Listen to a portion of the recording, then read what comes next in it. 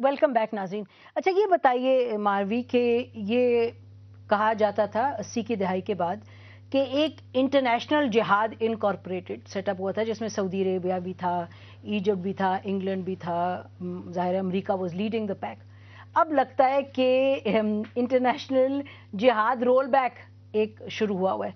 तो ये जो दोनों ममालिक हैं इनकी बात सुने, जो अभी पिछले दो दिनों में ये बातें होती रही हैं सऊदी अरेबिया में वेदर इट्स uh, इनकी अपनी स्पीच मनमोहन सिंह साहब की जो उन्होंने वहाँ शूरा में दी चाहे um, जो इनकी जॉइंट डिक्लेरेशन आई है चाहे जो इंटरव्यूज़ दोनों ने प्रेस को दिए तो ये बड़ा एक क्लियर कट कॉमन गोल है दोनों का कि जो मिलिटेंसी है और जहाद एक्सट्रीमिज्म उसको ख़त्म किया जाए। तो ये तो एक मेजर लिंक बनता है दोनों में। मेजर लिंक है और ये सारी डेक्लेरेशन में आपने सही कहा आया है कि टेररिज्म पे एम्फोसिस बहुत है। और even exchange of information related to terrorist activities है money laundering narcotics hopefully funding पे भी होना चाहिए, जिस तरह से फंडिंग होती रही है टेररिज्म की और दूसरे मुल्क जैसे पाकिस्तान बीच में पिसता रहा है because of other people's funding तो बात सारी ये आती है, ये तो बातचीत चल रही है। उस, उसका नेगेटिव फॉल आउट पाकिस्तान पे कैसे आता है और किस तरह से उसको प्रोजेक्ट किया जाता है?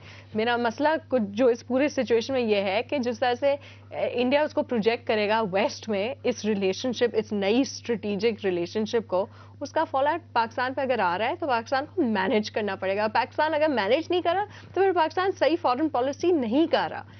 और करना पड़ेगा। ये कहना कि इनका अपना एक बायोलैटरल रिलेशन है उससे हमें नहीं कुछ क्या करें? मैनेज ये कि ये जो फॉल आउट आएगा यही वर्ड टेररिज्म का जो इतनी दफ़ा यूज़ हुआ है और टेरर एक्सचेंज एक्सेट्रा बार बार फोकस इंडिया चाह रहा है कि पाकिस्तान के ऊपर लाए। जब टेरर की बात आती है तो इंडिया का सिर्फ़ एक ही टारगेट होता है। कोई हज़ार टारगेट तो नहीं होते इंडिया के। टेरर परस्पेक्टिव तारिक फातमी साहब जब फॉरेन सेक्रेटरी साहब गए हैं हिंदुस्तान तो उन्होंने खुद भी फरमाया उन्होंने तो इन अ सेंस प्रीएम्प्ट किया इंडियंस को। उन्होंने वहाँ जाके बात की टेररिज्म की और उन्होंने कहा इस खत्े में इसको ख़त्म करने की ज़रूरत है पाकिस्तान का जो रोल है उस पर बात की है। तो ये जो मारवी कह रही हैं वो दुरुस्त है कि ये कोई डिवाइडिंग लाइन है सऊदी अरेबिया में और हमारे में या हमारे में और खत्े में?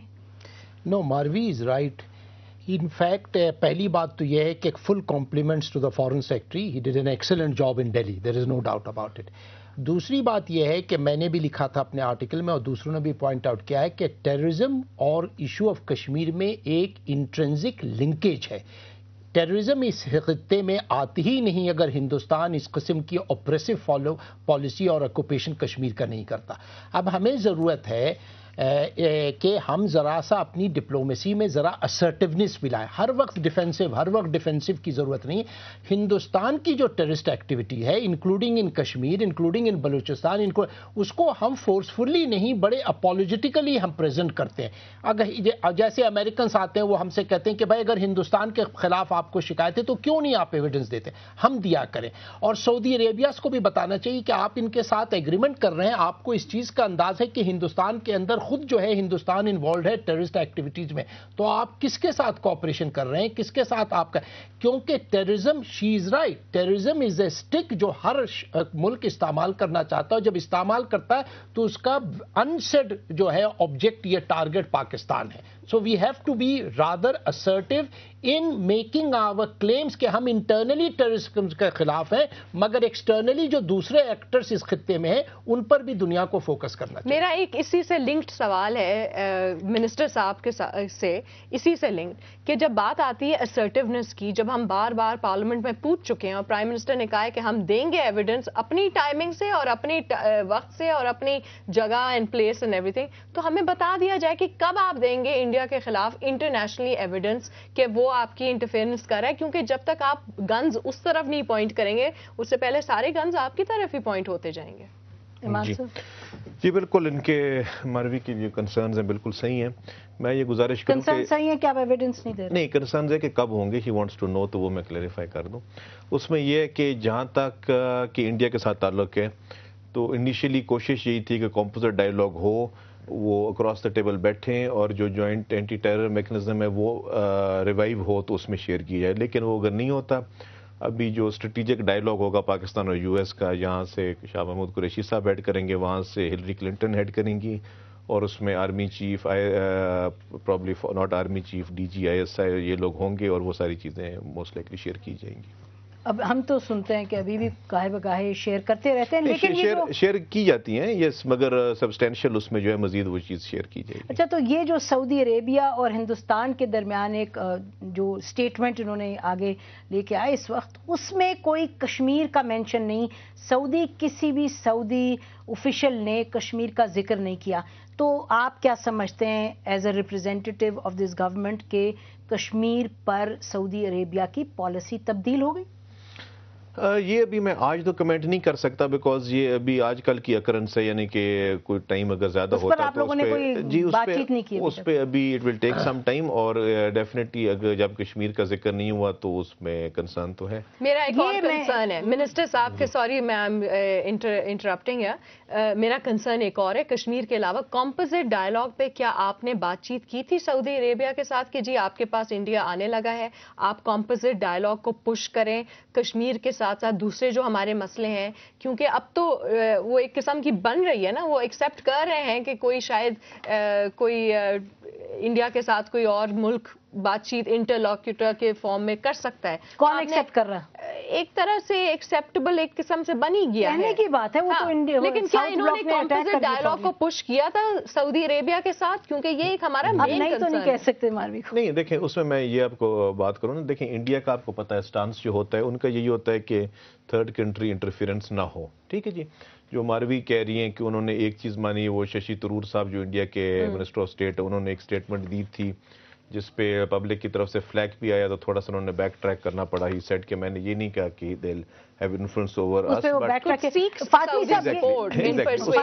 फिर फिर ये है कि not only Saudi Arabia US है यूके है ईयू जी हाँ, वो कंट्रीज़ तो है। तमाम जिस- साथ होता है उसमें हमारा स्टांस यही होता है कि सिर्फ़ जो देखे ना फॉरेन सेक्रेटरी साहब गए आपकी टॉक्स हुई मकसद था कि थोड़ी सी वो ब्रेकिंग द आइस हो and it may lead to some better मैं मैं गुजारिश कर एक। सेकंड कॉम्पोजिट डायलॉग वाला जो है हर फोरम पे जो हम बात करते हैं वो यही होती है कि इवेंचुअली जो है आप प्रिवेल उन पे यही करें कि कॉम्पोजिट अच्छा आप डायलॉग जो कह है वो आपने सऊदी अरेबिया से बात हाँ। की फातमी साहब ये बताइए कि कश्मीर के बारे में कुछ नहीं कहा गया सऊदी अरेबिया से। तो ये should should be take this serious no ये इट्स टू लेट ये पहले करना पड़ता है जो हमने 40 साल में नहीं कि नहीं हुआ तो नहीं, एक कोई सेकंड जरा सा मैं बता दूँ ताकि व्यूअर्स को पता चल जाए ये नॉर्मल प्रैक्टिस ये है कि जब भी किसी मुल्क का खास के अगर दोस्त मुल्क में कोई मेजर विज़िट हो रही है तो हम उन्हें सेंसिटाइज करते हैं और प्रेसिडेंट के लेवल पर या प्राइम मिनिस्टर के लेवल पर खत जाता है कि आपके यहाँ फला शख्स आ रहा है आप उससे अल्लाह के वास्ते फला फला हमारे कोर इश्यूज़ का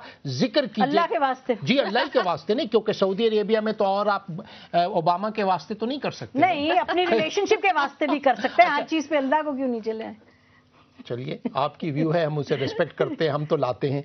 अच्छा एनी एनीवे तो हर इश्यूज़ पर सेंसिटाइज किया जाता है। ऑलवेज ये प्रैक्टिस रहा हर जमाने में हर रिजीम में।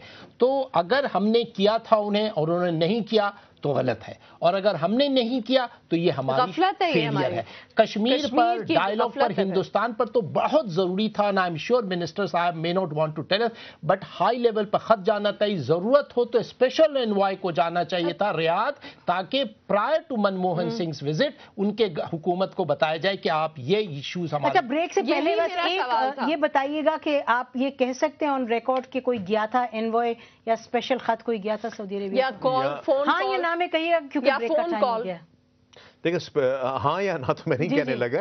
देखिए स्पेशल एनवॉय वगैरह तो नहीं गया था मगर जो एम्बेसडर वहाँ होते हैं उनकी from time to time meetings होती रहती हैं फॉरेन मिनिस्टर साहब के साथ तो उन्होंने मिनिस्टर स्टेट है ऑब्वियसली ये चीज़ें जो है जिस तरह अपना फातमी साहब कह रहे हैं ये चीज़ें होती हैं। ये हुई होंगी चीज़ें। नाज़रीन इस पॉइंट पर ब्रेक लेते हैं और फिर अगले सेगमेंट में बात करते हैं कि पाकिस्तान और सऊदी अरेबिया के ताल्लुकात कैसे रहे हैं और उन ताल्लुकात के नतीजे में क्या पाकिस्तान को ज़्यादा एक्सपेक्टेशन होनी चाहिए थी सऊदी अरेबिया से या नहीं? एक ब्रेक के बाद।